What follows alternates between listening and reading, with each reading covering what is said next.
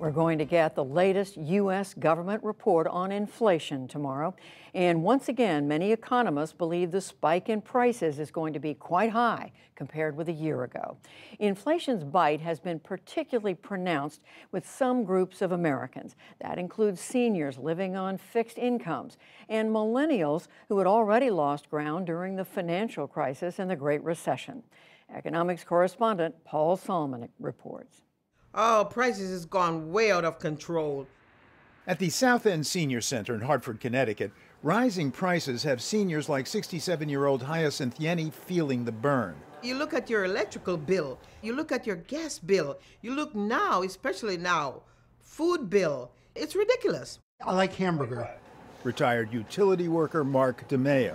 It's up a dollar a pound, so I cut back. In Kennerdell, Pennsylvania, where backwoods broadband is intermittent, I live in the country, so that's happened sometimes. 34 year old Hannah Schall says she can't cut back on formula for her nine month old, but the price. It used to be, you know, $35. Now we're paying 50 So that's $15 in nine months. That's crazy. And in Greenville, South Carolina, Schall's fellow millennial, nonprofit development manager Amanda Rice, got a rude awakening in December shopping for a used car. So I didn't realize how expensive it was until I saw the 2021. I was like, hold on, that's around the same price that they're selling the, the 2015.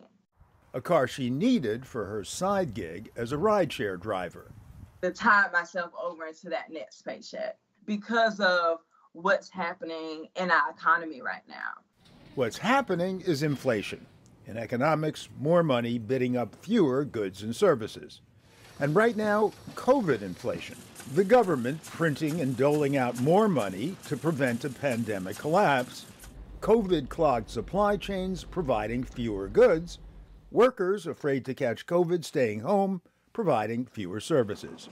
No surprise that prices have shot up, and no surprise that folks who live paycheck to paycheck, especially the old and young, are the hardest hit. The cost of living, it's become more difficult to, to sustain myself. In Riverside, California, Antonio Najarro said his two part time jobs in retail and for the county were paying less than his pre pandemic job as a state election worker. So you've been blindsided by the increase in prices? In hindsight, yes, thinking that I would still be able to get by or manage myself the same way in the past. In that regard, Najarro age 30 is a typical millennial. They're used to stable prices really for their entire working career. Economist Ali Wolf, herself a millennial. Really, for the, the past 15 years, they've had roughly 2% inflation, and that's what they're used to. So costs go up a little bit, but their wages go up a little bit, and so their purchasing power has roughly been stable. And then the pandemic hit, and it really just turned the dynamics upside down. Case in point 38 year old Alexandra Upton.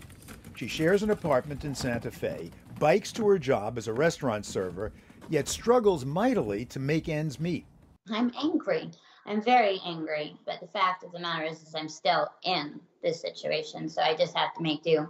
Get a second job, pare down, eat one meal a day at the restaurant.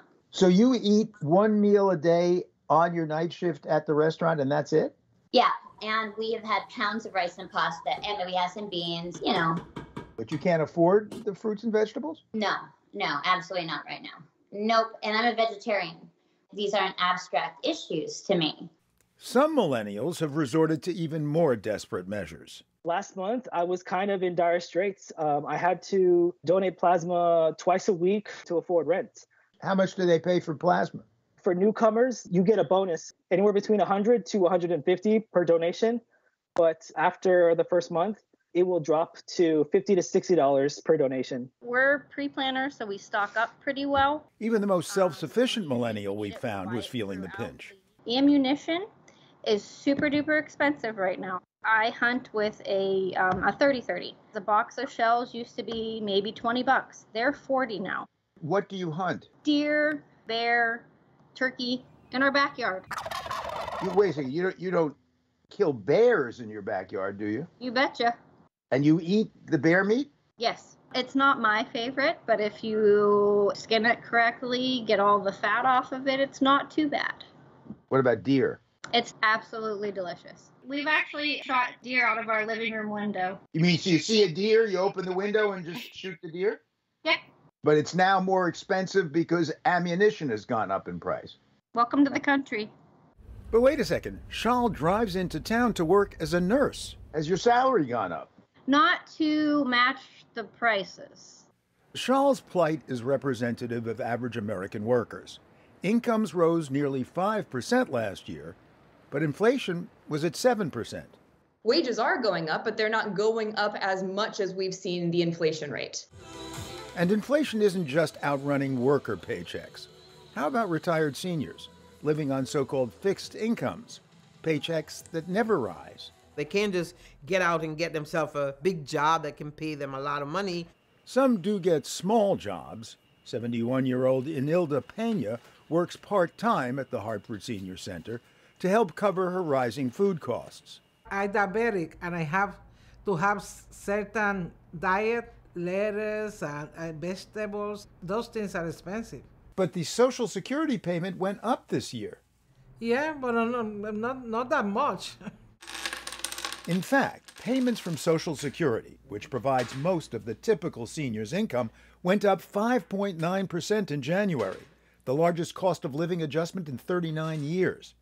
But again, inflation was 7% last year, and therefore, says the Senior Citizen League's Mary Johnson, their COLA or their cost of living adjustment isn't keeping up with those other rising costs. Rising costs like a $21.60 increase in the monthly Medicare Part B premium from $148.50 to about $170, a 15% increase, deducted directly from Social Security checks. Medicare Part B has increased over the years three times faster than the annual Social Security COLA.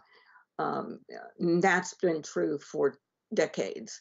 But decades in which prices for other essentials didn't go up as rapidly as they're increasing now, putting the squeeze on seniors.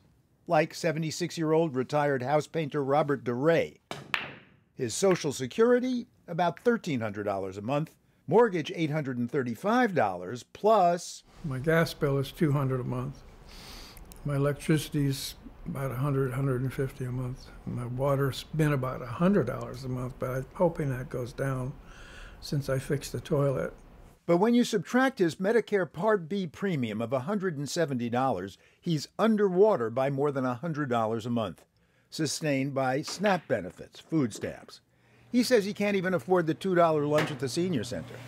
Of course, these folks want to know just what we all do. How long will the current inflation last? And it provokes furious debate among economists, including a famous one loudly unconcerned a year ago. I was relaxed about the inflationary outlook. Nobel laureate Paul Krugman has been humbled in retrospect. I was wrong. It turns out that inflation has come in way higher than, than I expected. But Krugman himself now asks what's the cure? Is it simply let up on the gas, maybe tap the brakes, or is it slam on the brakes?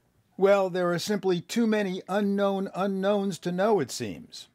But then, as people from Hollywood producer Samuel Goldwyn to physicist Niels Bohr to baseball's Yogi Berra supposedly all said, forecasts are difficult, especially about the future. But hey, we'll be living that future sooner and later. For the PBS NewsHour, Paul Solman.